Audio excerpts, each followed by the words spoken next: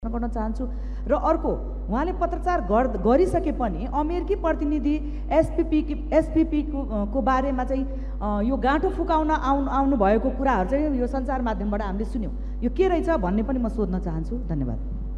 अमेरिकी सहायक मन्त्री जुन विदेश सहायक मन्त्री दक्षिण तथा मध्य एसिया मामिला हेर्ने चाहिँ जिम्मा छ उहाँको। उहाँ दक्षिण एसियाको केही देश भ्रमण गरेर नेपाल हिजो मात्रै नेपाल आउनु भएको छ।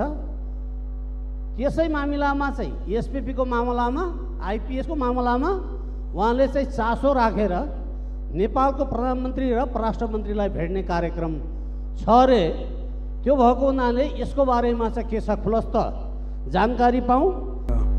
सामान्य सभा र अहिले डोनाल्ड लुको भ्रमणका कुराहरू पनि छन् मलाई पनि उनले भेट्दैछन् भेटिसकेका छैनन्। र यहाँ एसपिपी आइपिएस अन्य आदि इत्यादिका कुराहरू उठ्दैनन्।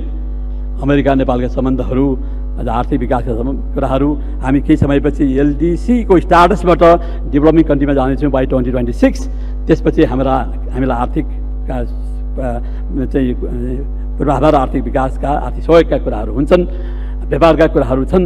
यी सब तमाम विषयहरूमा आपसी हित र आपसी सम्मानलाई कायम गर्दै चाहिँ छलफल हुन्छ।